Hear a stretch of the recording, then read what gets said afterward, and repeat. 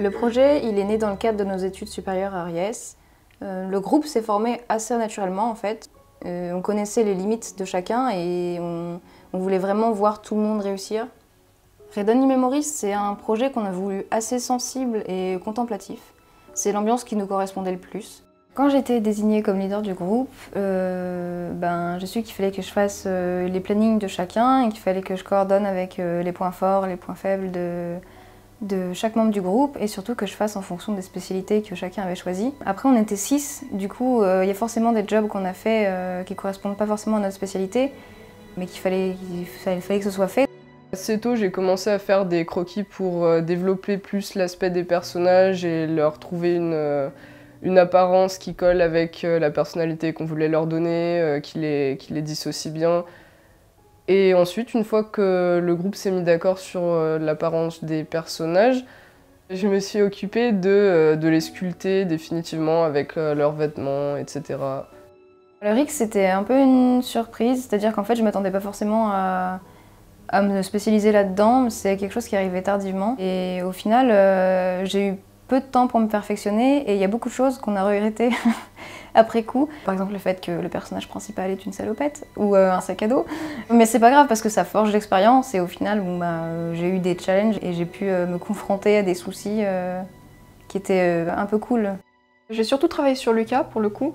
Et avec Lucas, il y avait pas mal de moments où elle avait des, des travaux très petits à faire et il a fallu que je travaille sur ça. C'est le moment où tu as le personnage qui prend vie en fait. C'est quand tu, au début tu animes tranquillement, mais dès que tu commences à rajouter les petits détails des doigts qui bougent ou les petites expressions du visage, c'est là que tu te dis ouais mon animation elle va quelque part. L'animation sur Rome été un petit peu particulière parce qu'on avait deux personnages. On avait un personnage humain et on avait un personnage androïde. Le personnage androïde, il fallait qu'il ait euh, des mimiques assez mécaniques et il fallait aussi qu'il ait des mimiques euh, humaines. Donc par exemple, le personnage respire, mais il ne cligne pas forcément des yeux. Le visage est humain et le corps est mécanique, donc on a essayé de garder un maximum d'expression faciale qui le rend humain, même s'il est très peu expressif. Et on a énormément joué sur par exemple le roulé mécanique euh, du personnage avec ses mains.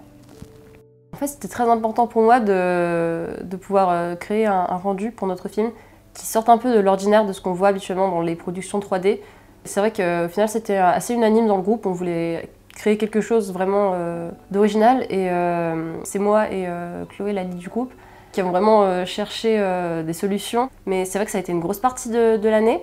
On a passé beaucoup de temps dessus. Mais au final, le, rendu nous plaît, donc on est plutôt satisfait. Je me suis essentiellement occupé de la post-production. Donc la post-production, il y avait plusieurs pôles. Il y avait la création du générique, la création de landing, mais aussi mettre en place les plans et donner une certaine harmonie sur les différents plans.